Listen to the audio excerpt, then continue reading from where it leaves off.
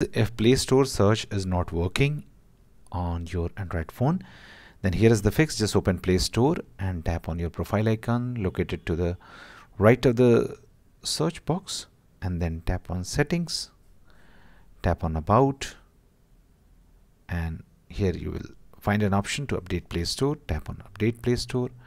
If it is up to date in my case it's up to date so there will no issue but it can update if it is not up to date and then try again. If this is also not working then go to settings.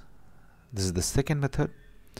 And in the second method just go to apps. Tap on apps. And go to the list of all apps. Now find Google Play Store and just search Google Play. Sorry. Just search Google Play. And just tap on Google Play Store. Go to storage tap on clear cache and clear data. Now go back and again search Google Play. This time we will clear the data of Google Play services.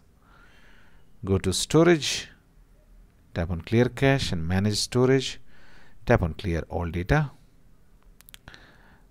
Now open Play Store again and now when it opens up just type the search box again and see whether your issue gets resolved or not.